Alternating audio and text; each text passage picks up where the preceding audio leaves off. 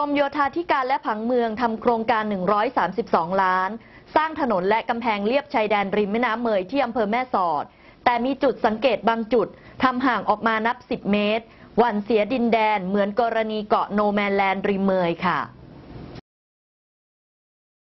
ผู้สื่อข่าวรายงานว่า โครงการพัฒนาริมแม่น้ำเมย โดยกรมโยธาธิการและผังเมือง กระทรวงมหาดไทย โครงการนี้ ชื่อโครงการพัฒนาพื้นที่ชุมชนชายแดนแม่สอดจังหวัดตาก โดยใช้งบประมาณ 132ล้าน292,800 บาท เป็นโครงการก่อสร้างถนนเลียบแม่น้ำเมย ช่วงที่ 1 และ 2 ก่อสร้างอาคารชลศาสตร์ และอาคารประตูระบายน้ำ เริ่มโครงการเมื่อวันที่ 12 เมษายน 2559 สิ้นสุด 30 เมษายน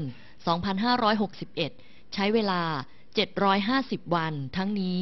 สำหรับคนในพื้นที่การสร้างถนนเลียบแม่น้ำเมย นับว่าเป็นโครงการที่ดีในการสัญจร หรือการรักษาความมั่นคง แต่เป็นเรื่องแปลกที่มีทั้งการสร้างถนน และการทำกำแพงสูง ที่อยู่ห่างชายแดนริมตลิ่งนับ 10 เมตร อีกทั้ง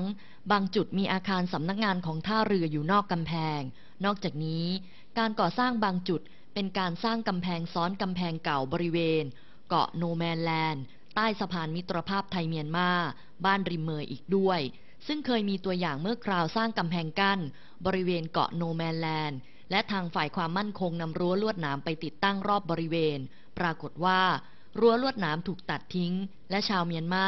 เข้ามาขายสินค้ารวมทั้ง ยึดเกาะโนแมนแลนด์ทั้งเกาะกลายเป็นดินแดนของเมียนมาไปโดยปริยาย เพราะชาวเมียนมาอาศัยอยู่ได้ แต่ห้ามคนไทยเข้าไป อนาคต กำแพงนี้อาจจะกลายเป็นเขตแดนไปอีกก็เป็นได้